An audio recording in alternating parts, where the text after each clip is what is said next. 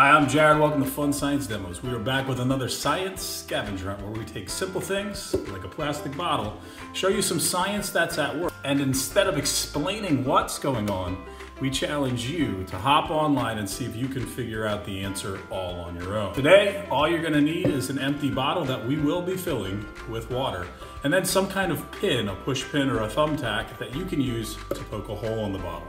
Here we go. Okay, so here you can see I have my bottle filled all the way to the top with water.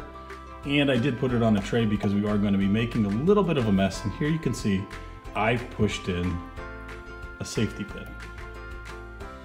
The question is what's going to happen when I pull the safety pin out of the bottle? Is water going to come rushing out? Let's try it. Let's pull the safety pin out. Yep, it looks like water comes out of the hole. But wait a second. It looks like that stream of water is stopping. What's going on here? Now I want to try something else. I want to try taking the cap off the bottle and see what happens. So here we go. Let's unscrew the lid. And you'll notice as soon as I unscrew the lid and take the lid off, the stream of water starts back up. Let's try putting the cap back on and closing it. Screwing it tight. Take a look.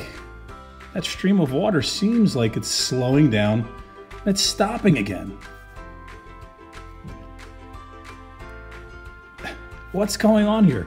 Every time I unscrew the cap, the water flows freely. But when I put the cap back on, that stream of water slows down and stops. There's got to be some science at work here.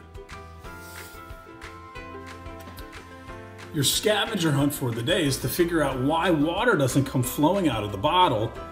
When I pull the pin out, there's a hole in the bottle, but the cap's still on.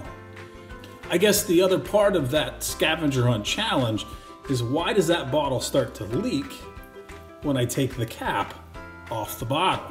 I suggest you check out our YouTube channel Fun Science Demos and check out some videos that have to do with air pressure. You can also hop on some science websites online and see if you can find the answer there. Once you think you found the answer, post that answer in the comments below.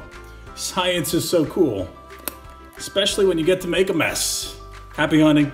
Thanks for watching.